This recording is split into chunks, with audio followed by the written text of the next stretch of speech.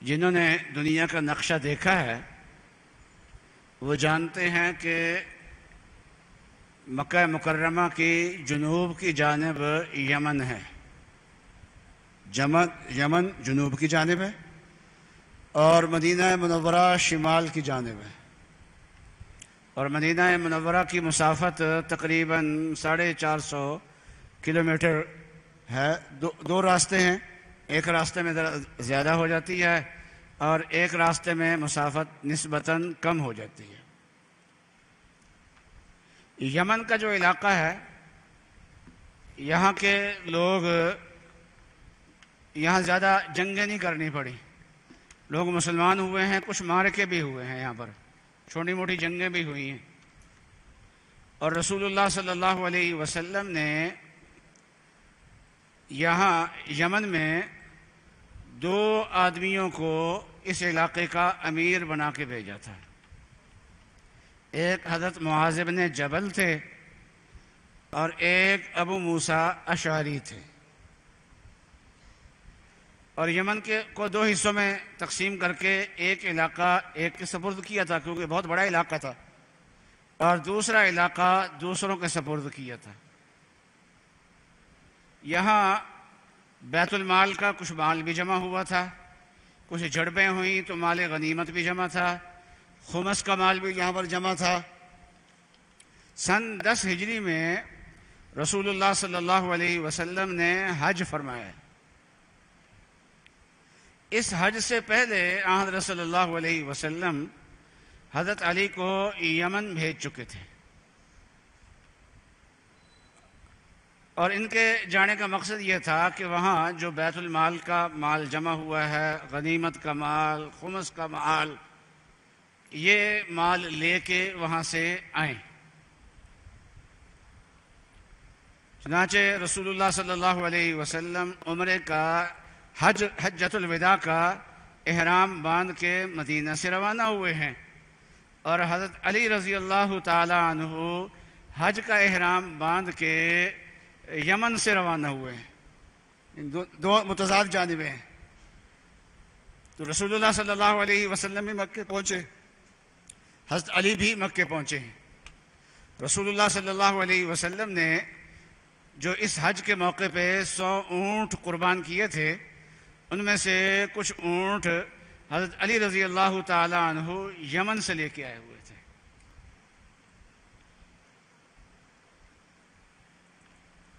चनाचे जब हज़रत अली पहुँचे हैं यहाँ पर, अबू मूसा अशरी भी आए। हज़रत मुआजिब ने जबल इस मौके पर नहीं आए। और जब हज़रत मुआजिब ने जबल को यहाँ का अमीर बना के यहाँ ने भेजा था तो इनको घोड़े पर सवार हो करके खुद हज़रत साथ साथ चलते रहे और हिदायत देते रहे। और आखिरी हिदायत जो दी और उसके बाद ने मुँह मदीने की तरफ़ मोड़ लिया। तो मैं कि मुआज, इसके बाद शायद मुझे न देखे। लेकिन अब मूसा अशारी आए थे। तो हज़रत साहब ने अब मूसा अशारी से और हज़रत अली से पूछा कि हज की तीन किस्में हैं, आपने कौन सा एहराम बांधा? उन्होंने कहा, जी, हमने तो ये नीयत की थी कि जो नबी पाक सल्लल्लाहु अलैहि वसल्लम का एहराम है, वही मेरा एहराम है, बस। हमने ये नीयत की थी कि जो नबी सल्लल्लाहु अलैहि वसल्लम का एहराम है, वही हमारा एहराम है। बहरहाल हज किया हज़रत अली रज़ी अल्लाह तुमने यमन से आके और हजूर मदीने से आए थे। फिर सफ़र से जब वापसी हुई तो इकट्ठे ही हुई। रास्ते में चलते चलते जो पुराना रास्ता है तो उस रास्ते में राबिग एक शहर आता है। ये शहर तो उस वक़्त नहीं था। उस वक़्त यहाँ करीब जगह में अब, ये जोफा जगह थी। और ये अहल शाम की मीकात है। और अब भी वहाँ पर मस्जिद बनी हुई, मस्जिद मीकात जो है बहुत शानदार मस्जिद वहाँ पर बनी हुई है। और हमने भी कई मरतबा वहाँ से एहराम बांधा है, मस्जिद मीकात है, वो मीकात की मस्जिद है। तो वहाँ जब तशरीफ़ ला रहे थे तो जोफा के करीब एक जगह है खुम। वहाँ तालाब भी था तालाब को कहते हैं गदीर। तो गदीर खुम खुम जगह का गदीर तालाब जो है तो वो वहाँ आहद रसल्लल्लाहु अलैहि वसल्लम ठहरे हुए थे कि एक सहाबी हैं, हज़रत बुरैदा। वो यमन से हज़रत अली के साथ ही आए थे। तो उन्होंने हज़रत सल्लल्लाहु अलैहि वसल्लम से शिकायत की कि हज़रत अली ने माल गनीमत में जो वहाँ से लेके आए हैं, उसमें ज़ाती तसर्रुफ किया है।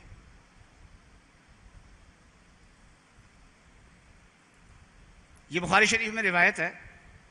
तो वहाँ हज़रत सल्लल्लाहु अलैहि वसल्लम ने हज़रत बुरादा से पूछा कि, अतुब गज़ो अलीन क्या अली से तुम्हें कोई नाराज़गी और गुस्सा है? बुगज़ है? तो उन्होंने फरमाया, जी हाँ।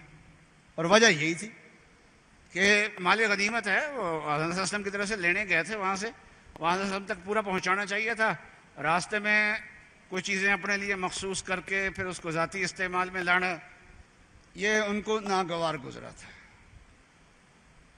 वजह यही थी, वरना ज़ाती कोई इनाज नहीं था। ये ये बात थी और ये बात आम से अर्ज़ करती थी।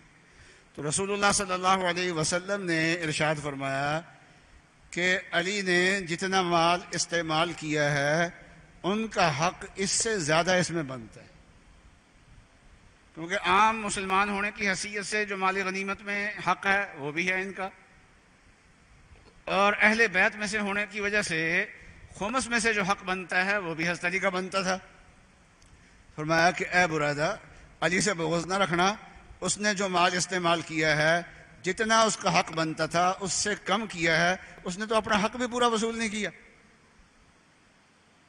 तो रसूलुल्लाह सल्लल्लाहु अलैहि वसल्लम की आदत मुबारक ये थी कि जब किसी एक शख्स से या चंद अशखास से कोई गलत फहमी देखते थे और ये अंदेशा होता था कि ये गलत फहमी आम ना हो कहीं तो आंध्र सल्लल्लाहु अलैहि वसल्लम खुतबा इरशाद फरमाते थे, कई मामलात ऐसे हुए हैं कि जब मामला हज़रत सल्लल्लाहु अलैहि वसल्लम के सामने आया तो आपने खुतबा इरशाद फरमा के उमूमी तौर पे लोगों को मुतवजह किया और लोगों की असलाह फरमाई।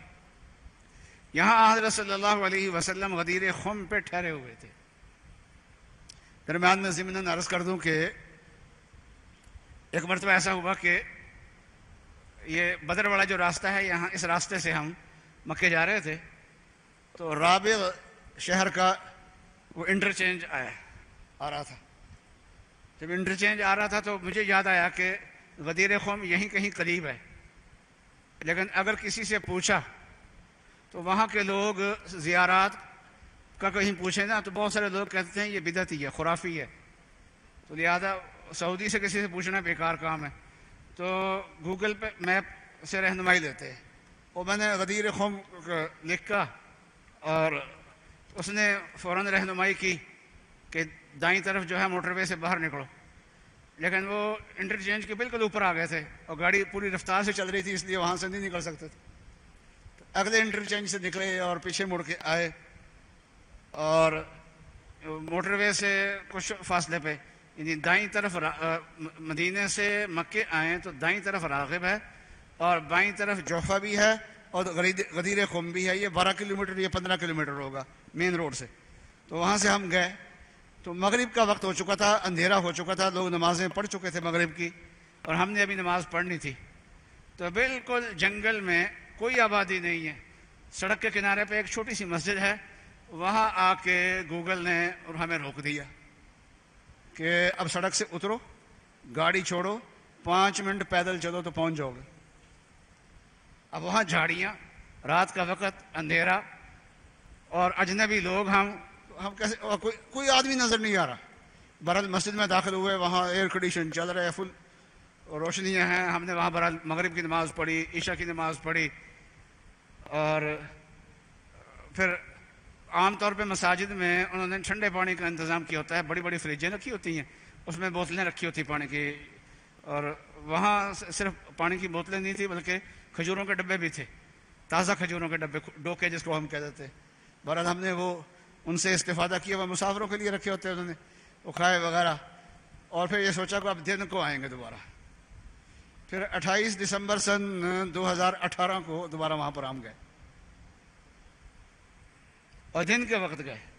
जब हम पहुँचे हैं तो उसी मस्जिद में आ, लोग नमाज़ असर की नमाज़ पढ़ के निकलते थे वहाँ असर की नमाज़ ज़रा जल्दी हो जाती है। सऊदी अरब में जैसे आप जानते हैं तो लोग नमाज़ पढ़ के निकल रहे थे और हम वहाँ पहुँचे थे। और गाड़ी से उतर के इधर उधर हम देख रहे थे जो हमारी गूगल जो रहनुमाई कर रहा था। तो बड़ी उम्र के जो सऊदी थे, वो कहने लगे कि आप क्या देख रहे हो? हमने बताया कि वो गदीर देख रहे हैं, छप्पड़ देख रहे हैं। उन्होंने कहा, पानी उन्होंने कहा, पानी इस वक्त नहीं है। लेकिन गदीर ये है। और थोड़ी सी उन्होंने आगे होके रहनुमाई की कि ये खजूर के ये दो दरख्त है ना, ये जगह है। वहाँ नौजवान इकट्ठे हो गए, सऊदी। आबादी बूदी कोई नहीं थी वहाँ। पता नहीं कैसे थे वो लोग। और कहीं से आए होंगे या क्या होगा, वहाँ कोई काम काज करते होंगे तो हमसे पूछने लगे कि आप लोग यहाँ क्या करने आए हो? यहाँ क्या है? हमने उनको बताया कि इस जगह रसूल ने क़्याम फरमाया था और ख़ुतबा इरशाद फरमाया था और हज़रत अली की शान बयान की थी यहाँ पर। और यहाँ एक गदीर है। तो कहने लगा अच्छा ये वो जगह है। तो उन बुज़ुर्गों ने तो ये कह दिया था कि पैदल चल कर वहाँ पहुँच जाओ। कांटों से, झाड़ियों से चढ़ के कैसे वहाँ पहुँचे? नौजवान नौजवान होते हैं वो कहते हैं कि अच्छा आपके पास गाड़ी है हम चक्कर दे कर तुम्हें उस जगह तक लेके जाते हैं। तो वो हमें लेके गए वहाँ तक पहुँचे हमने कहा कि ये मकाम देखना चाहिए। इस मकाम पे रसूलुल्लाह सल्लल्लाहु अलैहि वसल्लम ने तो उस वक्त वसम के साथ है लाख से कुछ कम सहाबा थे। आ, तो बहुत बड़ी तादाद थी तो ज़रूरी नहीं कि वो बिल्कुल वो उसके ऊपर गदीर के ऊपर ही होंगे, आगे पीछे भी होंगे, बहुत फैलाव होगा। साहबा इकराम का वहाँ पर तो वहाँ ने जमा किया और वहाँ पर खुतबा इरशाद फरमाया। तो उस खुतबे में आदर ने जो बात इरशाद फरमाई तो फरमाया कि अल्लाह ताला की हमद की और अल्लाह की सना की और वाज किया और तस्कीर की। फिर ने फरमाया, अम्मा बात अलास ए लोगो, इन्नमा अन बशर मैं भी एक बशर हूँ। योशिक वहीं रसूल रब्बी फ़ुजीब अन करीब मेरे पास भी मेरे रब का कासिद आएगा और मैं उस पर लब्बई कहूँगा, यानी साथ चल पड़ूँगा। मुझे लेने आएगा यानी मलकुल मौत आएँगे। मैंने भी दुनिया से जाना है। व अना तारिकुम फ़ीकुम सकलैन। और मैं तुम्हारे अंदर दो भारी चीज़ें, अहम तरीन चीज़ें छोड़ के जा रहा हूँ। उनमें से पहली चीज़ जो है, वो किताबुल्लाह है। फ़ीहिल हुदा व नूर। इसमें हिदायत है, इसमें नूर है। फ़खुजू ब किताब वस्तम सकू भी अल्लाह की किताब को तुम लो। और इसको मजबूती से थामो। और भी अहमद सल्लल्लाहु अलैहि वसल्लम ने अल्लाह की किताब को थामने की तरगीब दी। फ़हसा अला किताब व रगबफ़ी काल व अहल बैती। फरमाया दो चीज़ें छोड़ के जा रहा हूँ। तो फरमाया, दूसरी चीज़ जो है वो मेरे अहल बैत है। उज़क्किरुकुमुल्लाह फ़ी अहल बैती उज़क्किरुकुमुल्लाह फ़ी अहल बैती वो रसूल ने फरमाया कि मैं तुम्हें अल्लाह की याद दिलाता हूँ अपने घर वालों के बारे में अपने अहल बैत के बारे में अल्लाह की याद दिलाता हूँ यानी अल्लाह को याद करके उनका एहतराम करना और उनका इत्तबा करना और ये बात फिर सल्लल्लाहु अलैहि वसल्लम ने दो बार इरशाद फरमाई या तीन बार रसूलुल्लाह सल्लल्लाहु अलैहि वसल्लम ने इरशाद फरमाई। यह हदीस सही मुस्लिम की है और सही बुखारी में है और मुस्लिम में भी है इस मौके पे रसूलुल्लाह सल्लल्लाहु अलैहि वसल्लम ने हज़रत अली का हाथ पकड़ा और खड़ा किया, उनका हाथ पकड़ा और फरमाया कि मन कुंतु मौलाहु, फहाजा अली मौलाहु, जिसका मैं दोस्त हूँ इसके अली भी दोस्त मतलब यह है कि अली की बात को मेरी बात समझना और मेरी बात को अली की बात समझना। आइंदा आने वाला जो ज़माना है, उसमें सहाबा में इख्तलाफात होगा। इख्लाफात होंगे। वहाँ वसल्लम इशारा फरमा गए कि अली जिधर जाएगा ना, उधर हक होगा। और हज़रत अली रज़ी अल्लाह तु हक के कितने मुतबे थे?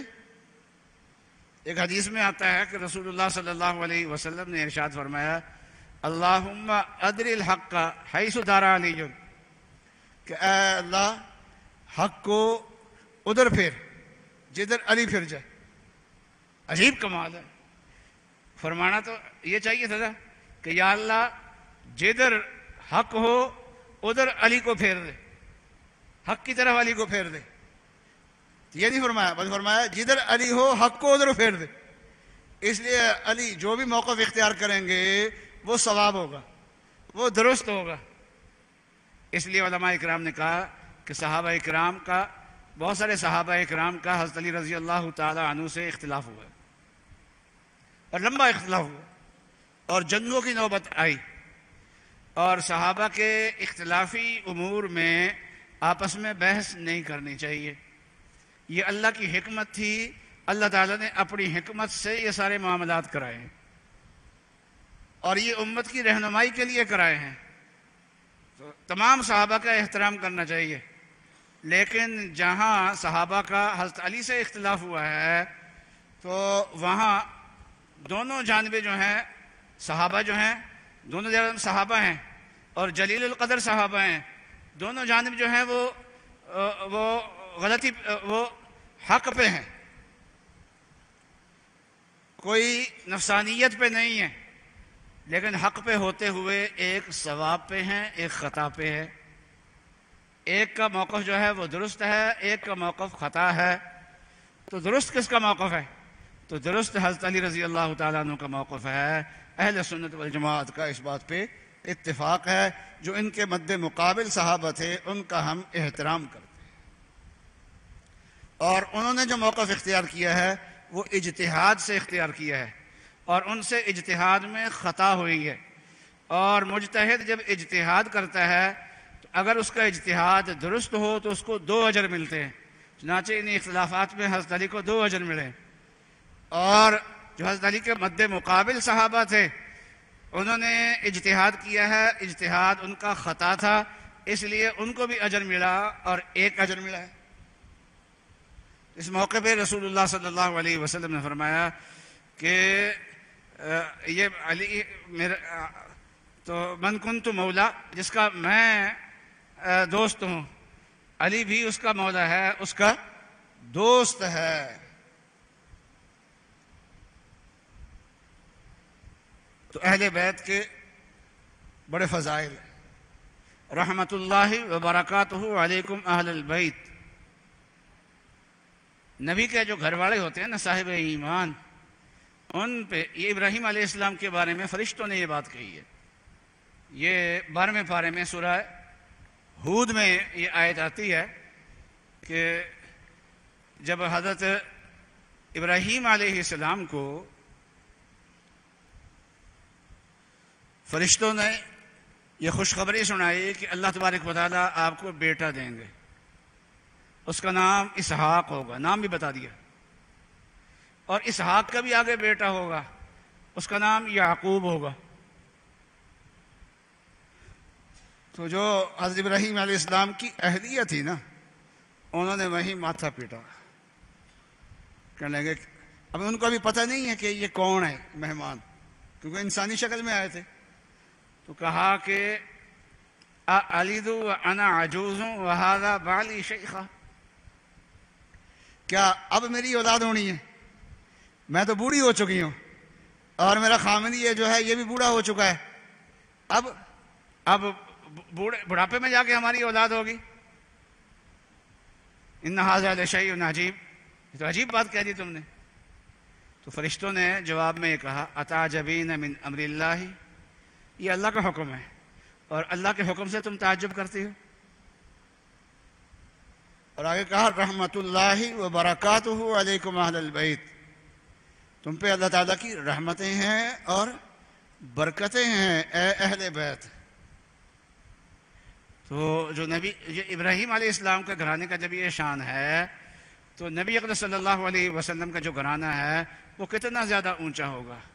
वो हक की अलामत है।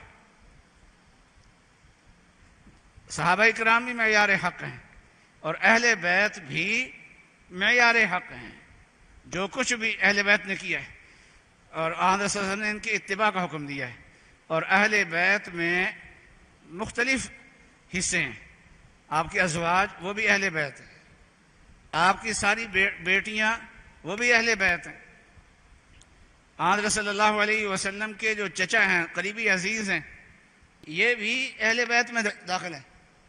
हज़रत अब्बास के बारे में हज़रत उमर को आदर ने फरमाया था कि उमर तुम्हें पता नहीं है कि आदमी का जो चचा होता है वो बाप की तरह होता है। यानी ये मेरे बाप की जगह पे है। चुनाचे हज़रत उस्मान हज़रत अब्बास और इबन अब्बास ये भी अहले बैत में से हैं। तो हर एक और दामाद ये भी अहले बैत में से हैं। हज़रत अली ये भी दामाद की बेटियाँ चार हैं।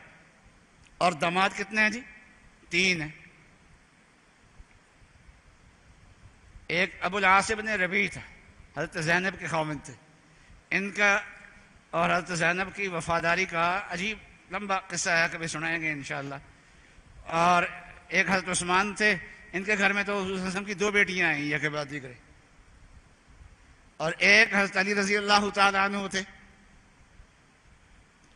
तो आहद के नवासे नवासे नवासी एक तो हज़रत फातिमा की औलाद है ना, और एक हज़रत जैनब की औलाद भी हुई है। और उनकी एक साहबजादी थी उमामा बिन आस। तो ये बच्ची थी और इनकी वालदा फौत हो गई थी जैनब। ये रोती थी, चुप नहीं करती थी। तो एक नमाज़ ने ऐसे भी पढ़ाई कि उसको कंधे पे बैठा के नमाज़ पढ़ाने के लिए तशरीफ़ लाया। तो ये सब अहले बैत हैं। हर एक की अपनी अपनी शान है। और अहले बैत का एक हिस्सा है, जिसको कहते हैं अहले किस्सा। चादर वाले। तो रसूलुल्लाह सल्लल्लाहु अलैहि वसल्लम ने काला कंबल ओढ़ा हुआ था। किस्सा, चादर ओढ़ी हुई थी। हज़रत उम्मा सलमा के घर में थे। कि हज़रत हसन आ गए। तो हज़रत हसन ने उसको अपनी चादर में ले लिया, चादर उसके ऊपर डाल दी, अपनी चादर के अंदर उनको ले लिया। हज़रत हुसैन आ गए, इनको भी ले लिया। हज़रत अली आ गए, उनको भी ले लिया। हज़रत फातिमा आ गई, उनको भी ले लिया। तो एक चादर है और उसमें है कौन कौन है? ज़रा नाम भी लेते जाए और गिनते भी जाए। रसूलुल्लाह सल्लल्लाहु अलैहि वसल्लम है। हज़रत अली रज़ी अल्लाह तु है। हज़रत फ़ातिमा रज़ी अल्लाह तहा है। और हज़रत इमाम हसन रज़ी अल्लाह तु है और इमाम हुसैन रज़ी अल्लाह तु हैं। सलावातुल्लाह वसलाम सलामुल्लाहिम अल्लाह ताला का सलात इन पे हो। ये सब है। तो आपने फरमाया हा उला अहल बैती। अल्लाह, ये मेरे अहल बैत है। मैं इनसे मोहब्बत करता हूँ दूसरी हदीस में आता है। अल्लाह, आप भी इनसे मोहब्बत करें। और जो इनसे मोहब्बत करे, या अल्लाह तो उनसे भी मोहब्बत करना इसलिए हम सबसे मोहब्बत करते हैं। और ने अहल बैत की इतवा का हुक्म दिया है। तो अहल बैत में दो शख्सियात है जिनका इलम में मकाम बहुत ऊँचा है। उनमें से एक हज़रत अली रज़ी अल्लाह तु है और दूसरे उमुलमिन हज़रत आयशा रज़ी अल्लाह तु है। इन दो का मकाम बहुत ऊँचा है। और उसकी वजह शायद ये है कि ये दोनों रसूलुल्लाह सल्लल्लाहु अलैहि वसल्लम की तरबियत में छोटी उम्र में ही आ गए थे। और छोटी उम्र से जो तरबियत पाई जाती है, उसके असरात बहुत गहरे होते हैं। हज़रत अली रज़ी अल्लाह तु बचपन से नजूल वही से पहले ही हजूर वसलम के साथ होते थे। और हजूर सल्लल्लाहु वसलम की सरपरस्ती में ही ये बचपन से जवानी की तरफ़ आए हैं। यूँ यूँ कहिए कि इनको परवरिश भी आहद सल्लल्लाहु अलैहि वसल्लम ने की है, और फिर आहद सल्लल्लाहु अलैहि वसल्लम के ये दामाद भी हैं, और फिर इनका घर रसूल वसल्लम के घर के साथ है। रसूल वसल्लम का अब जो रोज़ा मुबारक है तो कदमैन की तरफ़ थोड़ी सी नमाजियों की जगह है। तो उस तरफ़ आप देखेंगे कि हजर मुबारक का एक हिस्से में दरवाज़ा लगा हुआ है, ताला लगा हुआ है। और बाहर के बादशाह जब आते हैं तो ये दरवाज़ा खोल के अंदर दाखिल करते हैं। बस वो जालियों के अंदर चल जाते हैं इसके अलावा कब्र तक कोई नहीं जाता।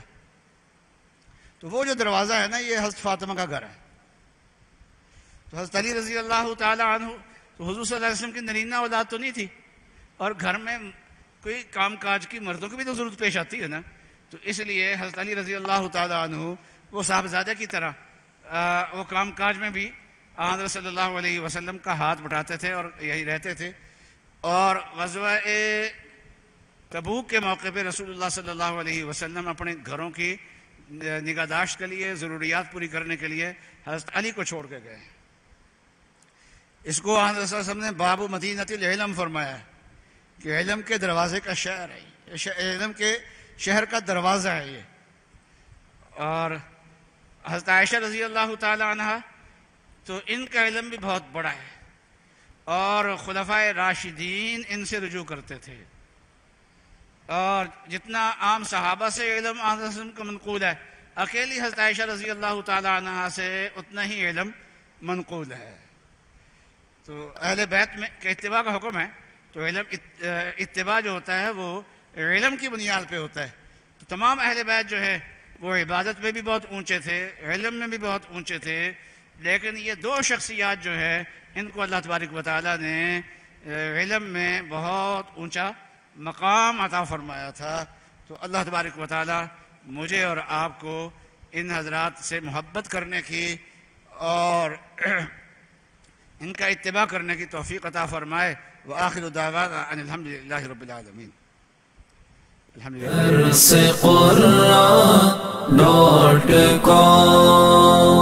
www.dasquran.com